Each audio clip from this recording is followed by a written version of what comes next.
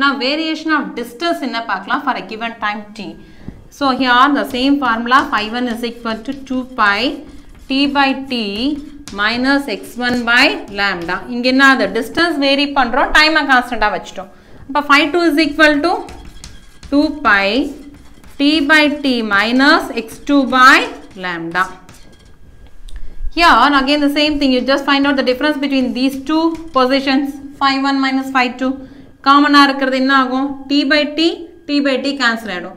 lambda வெளியே எடுத்துரு இப்போ two pi by lambda x1 minus x2 isn't it so this is nothing but change in distance I can write this as 2 pi by lambda into del x this is del phi change in phase அப்போ when this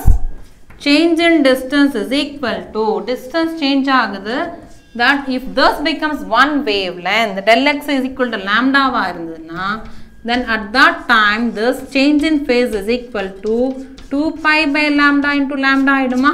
so again I will get this phase to be the same that is 2 pi so திரும்ப அதே பொசிஷனுக்கு தான் வந்துரும் change in length so variation of phase with respect to time and with respect to டிஸ்டன்ஸ்னு ஒரே ஒரு derivation இருக்குது it's important ten mark question equation of a plane progressive சமதள முன்னேற்றாலையின் சமன்பாடு